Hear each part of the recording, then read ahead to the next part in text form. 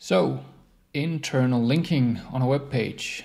You might have thought about doing this or uh, you have heard on the internet that internal linking is something you should be doing, but just the thought of it and thinking about like how do I even interlink those 500 or a thousand pages that you have on your website, it will take forever, and I know it will take forever, which is why um, I'm gonna show you how I do it with um, automation and some internal linking plugins. Um, because it'll like if you don't run an agency, um, this will cost you a lot of money to outsource or cost you a bunch load of time if you do it yourself. So I'll show you a quick guide on how I do this uh, internal linking automatically using um, TaskMagic and a plugin called Linksy. Um, and then I'm going to talk a bit, little bit about uh, the different ways to interlink articles and when you should do one or the other. So uh, let's jump into the video. Here we have our blog, hamosi.blog. On this we have 1,769 articles published so far. We can see, um. So let me just go over the plugins and the programs that we're going to use. We're going to use the plugin called Linksy, L-I-N-K-S-Y, Linksy, from uh, Pluggy. And the only reason I'm using this is because I got it on a lifetime deal and it works pretty well for me. Uh, on top of that, we're going to use, I'm going to use TaskMagic um, by Jeremy here. He's a very enthusiastic guy. Then we have to install a plugin called, or we don't have to, but it helps. Um, this edit this cookie, which is up here in my uh, cookie thingy, because we're going to use the cookies from the browser to use in TaskMagic. Okay, if we go in here, we can see that I've installed the plugin called Linksy, and we can see that I have uh, 276 uh, orphan posts. And an orphan post is a post where we don't have any links going to that post. And we want links to go to all our posts, so we interlink our site, um, yeah, all our articles in our site. The thing is that Linksy and, for example, Link Whisper, these uh, internal linking plugins, they do what is called omnipresent uh, internal linking. So they interlink all the articles on your website um, and they don't really take into consideration categories. For this blog, specific blog here, I don't care about categories that much, um, so that's okay.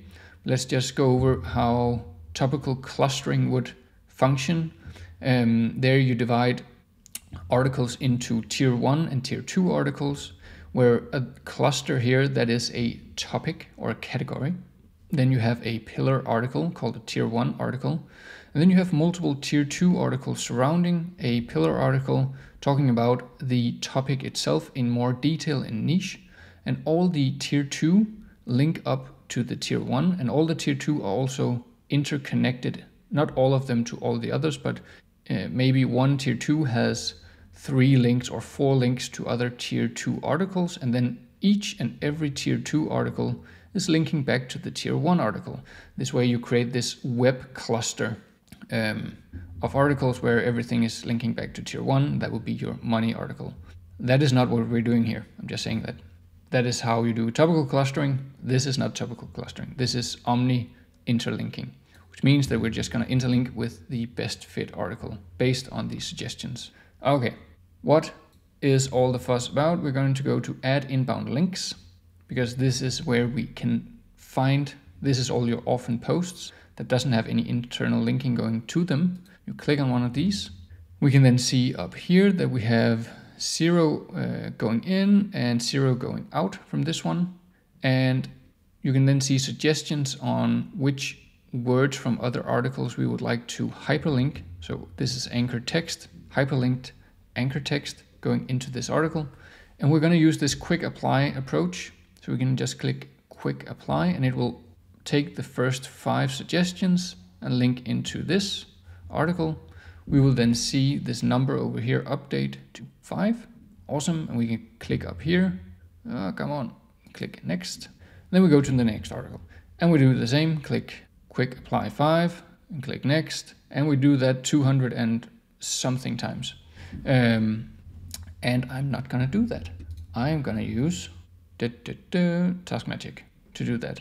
So we installed Linksy, the plugin, and then we found out that we need to click a bunch of times to uh, make all that happen.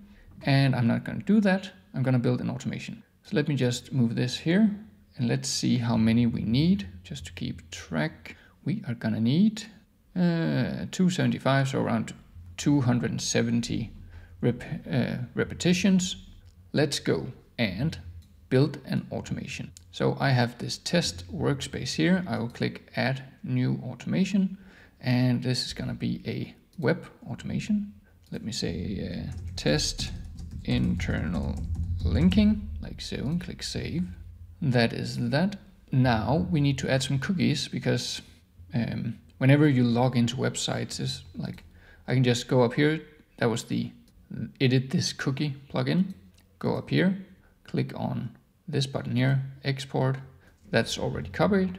We then click here, add cookies, add cookies, and then click copy your cookies in and click save. Now we have cookies. Then I'm gonna add a VPN proxy because I have a proxy um, for this.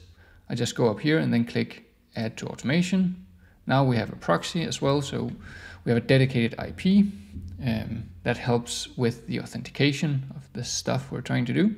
Now let's start to automate. We'll just click the plus sign and click this record button. Then a bunch of tabs open. So first this one here, see if I can fit everything into screen. There we go. We have to wait until, okay. So we need to add the start, um, start URL. I'm gonna go here, then I just move this out of the way one second. We're gonna go to inbound links and I'm gonna click on the first one. So we start at the first inbound link. So that would be this one. I'm just gonna copy the URL, move this back here, go up here and then paste that in, click save, go to URL. I'm gonna just move away from this specific page. I don't know if it will interfere with it or not. Okay, we can now see that we are on this page, but we can't click this, uh, click quick apply. So I'm just gonna turn this on and not gonna save the steps because next time I'm gonna run the automation, this will already be on. So I'm gonna click expand here and you can see in the terminal, whatever it's called, it's gonna prompt me to, do you want to save this click I just did? No, not on that one. I'm Gonna activate it. No, not save. this, no, and back. No, okay. Now quick apply is turned on. I'll just click on quick apply and now I want to save this step. We could like, we could add these uh, quick apply steppy things to the automation, but when we run the automation again, this will already be turned on. Then it would turn that off again and we would have to disable them. Okay, we've now added five internal links. I'm gonna click up on next. We're gonna save that step and that's it. Like we're got, then just gonna repeat step two and step three. I'm just gonna click on the play button here to see that it works. And I click this in here. We can see that it's gonna update this step here to five, and then I'm gonna click play on next, and yep, there we go. Then I'm gonna click I'm done. So we need to uh, change the trigger type to list, and then we get this you want to loop thingy, and we want to loop this 200 times, for example. Click continue, and we want to loop step two and step three. But I can see that I forgot one detail here. I forgot to add some delays. So let's just add that in. Let's click on this plus, plus sign and click on record. This will bring up our two windows here. Then we are gonna click, come on, don't use the browser yet. Got it. So after this, um, like we load the URL, let's do a add a delay of 0.2 minutes. Click save and then down here, scroll. After the click apply, let's add a delay again of uh, 0.3. Click save, think I'm done.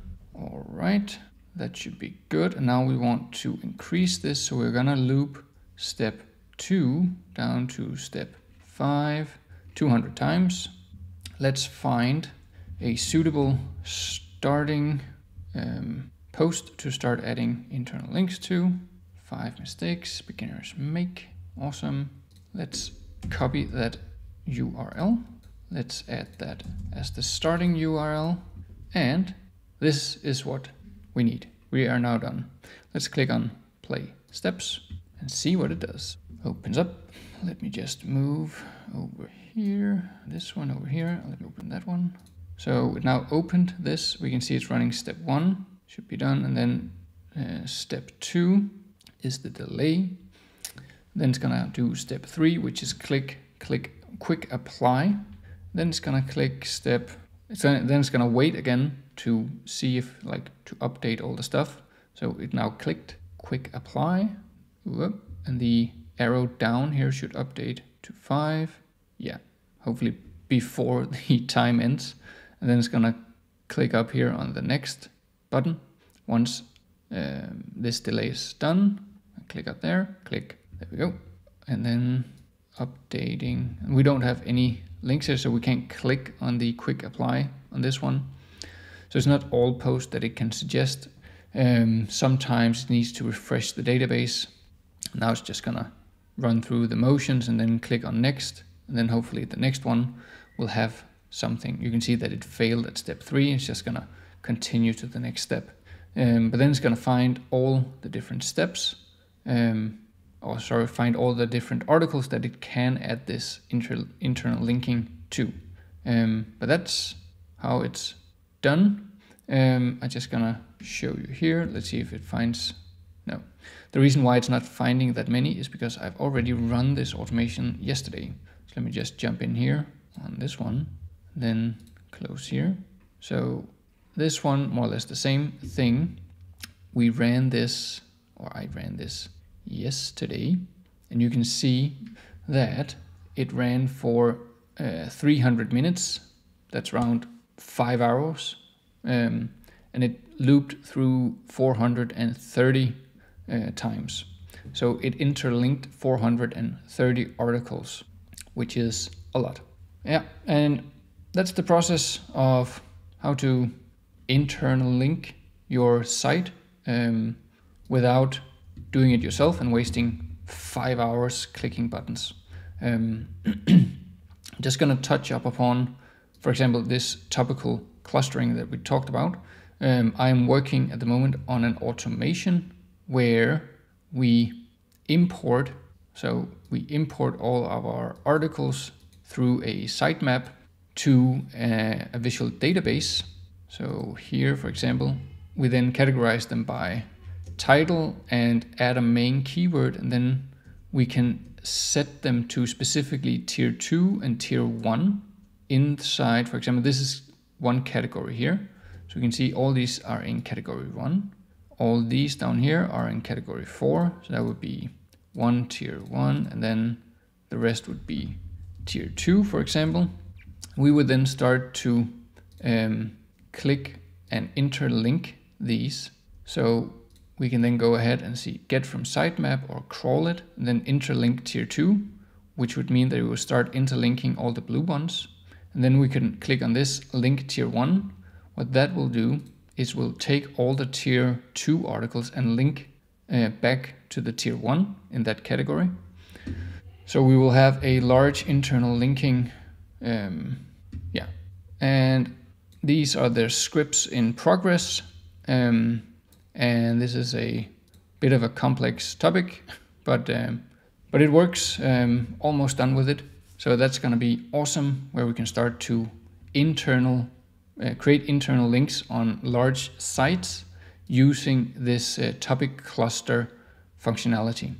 So I hope you learned something and saw something new. Um, there's some links in the description for the stuff I use and also a link for the free community where you can download a um, like blogging automations and other free automations. So click there, go in, have a blast, and uh, see you in the next video. Bye.